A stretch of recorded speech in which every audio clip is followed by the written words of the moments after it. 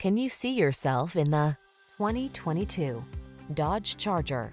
With less than 30,000 miles on the odometer, this vehicle provides excellent value.